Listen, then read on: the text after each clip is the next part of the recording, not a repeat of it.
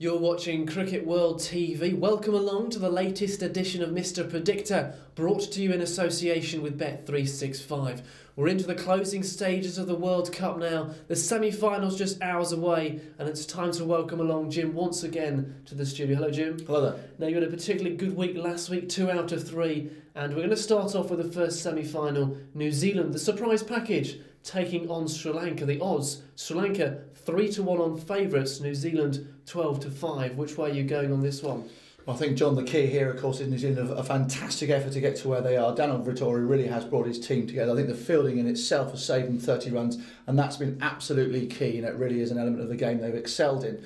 Who thought that Jacob Oram would also step up to the plate, you know, the big hitter, but also...